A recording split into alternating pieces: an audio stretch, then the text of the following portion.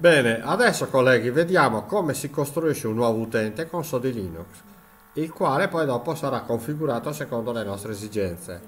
Vado in sistema del menu principale, amministrazione, utenti e gruppi, clicco e esce fuori la finestra di gestione. Quindi oltre a CTS, EMA, Filippo e test, voglio fare un nuovo utente che lo chiamerò eh, Viterbo perché qui siamo CTS Viterbo. La password di questo computer, come tutti i computer di prova di Sodi Linux, è scuola, nuovo utente è Viterbo.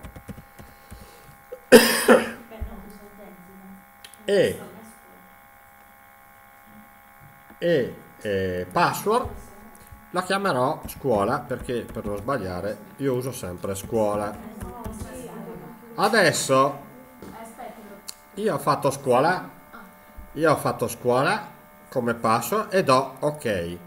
Questo utente Viterbo però voglio dare alcuni diritti e alcuni non diritti. Quindi vado in impostazioni avanzate e dirò che questo utente può andare ai dispositivi di memoria? Sì quindi può leggere le chiavette. Si può um, mettere a internet? Sì.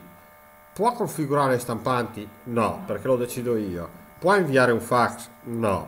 Può andare nel registro di sistema? No. Può montare i file system? Mm, no, meglio di no. Usare gli scanner? Sì. Audio? Sì. Video? Sì. Usare il modem? Sì. Usare l'unità nastro? Sì. Ok. Bene. Adesso il mio utente è fatto con i diritti che voglio io.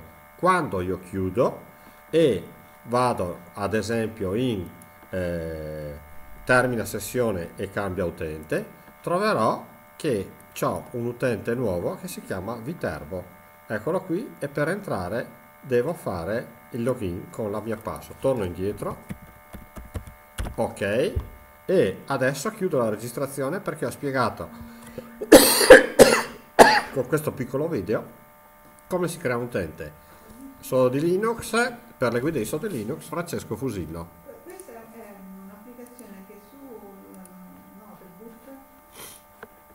Programma della Smart è complicatissimo